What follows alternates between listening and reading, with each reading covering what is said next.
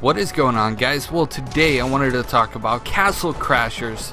Now the gameplay you're seeing in the background is as well Castle Crashers and I've been getting a lot of questions as to if it's coming to the PlayStation 4 because recently it just came as a remastered to the Xbox One.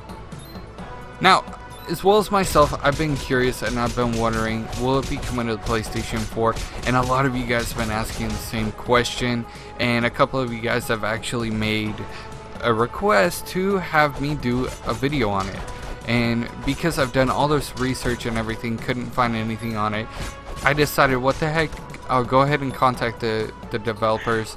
And in a Reddit post, they actually responded, the PlayStation 4 version of Castle Crashers could happen, but it's currently not in the works. They would love to do it, they would love to bring it to the PlayStation 4, but it's currently not in the works at all. Now, it is on the PlayStation 3, and if you guys um, haven't already played it, I definitely suggest you do so because it's a lot of fun, especially playing. Holy cow! Sorry, I'm playing live right now while I'm talking to you guys. Um, oh no. Okay, so especially because it is um, it's on the PlayStation 3 and it's a really good couch co-op game. So if you guys haven't played it, definitely try it out. Um, let's get this on the PlayStation 4. All we have to do is just speak up, let our voices be heard. Um, we can use this video actually as um, the comment section, we can use it to our advantage and let's tweet at the developers. Tweet this video at the developers. Tweet everything at the developers and say, hey, you know what? We want Castle Crashers on the PlayStation 4. We won't stop. We won't relent until we get it.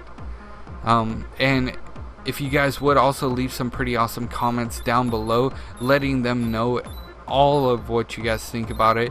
We're going to tweet it out. We're going to try to get it uh, seen by the developers and seen by PlayStation, seen by Sony, so that way we can not only save this princess that we're about to save, but get Castle Crashers onto the PlayStation 4.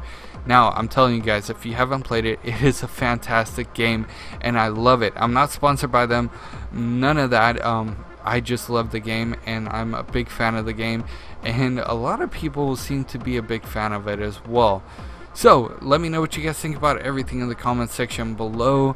If you would hit a like, tweet this video at the game developers. I'm going to leave an at with their Twitter handle in the video so that way if you guys have your Twitter tied into YouTube then you can go ahead and hit that like button and then it'll tweet automatically or you can just copy and paste and tweet at the game developer uh, themselves. I'm gonna actually go and kiss my princess.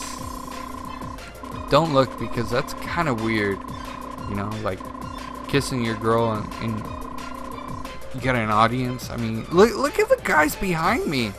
They're all like waving and stuff like hey what's up uh, I see you. Alright guys, let me know what you guys think. I know this was kind of random, especially with me actually playing a game in the background. Let me know what you guys think about that as well.